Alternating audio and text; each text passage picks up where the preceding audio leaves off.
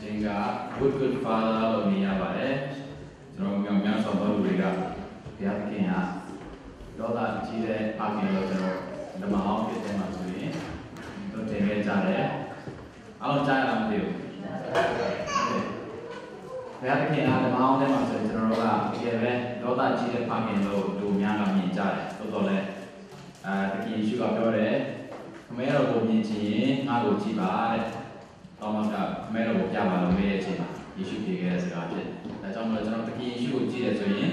တကယ်ယေရှုကတကယ်ပဲချစ်ချင်းမေတ္တာနဲ့ပြည့်စုံတဲ့ဖခင်ဖြစ်တယ်ဆိုတော့အတိတ်ပဲရတဲ့ခြင်းလေးဖြစ်တယ်ဒီခြင်းကိုကျွန်တော်အာဒီဆိုချီးမွမ်းပြီးတော့မှဘုရားသခင်ကိုဘုံတော်ကိုချီးမွမ်းရင်းနဲ့ကျွန်တော်ရဲ့ပါစတာတွေအားလုံးကိုလည်းကျွန်တော်ကိုပြုချင်ပါတယ်လို့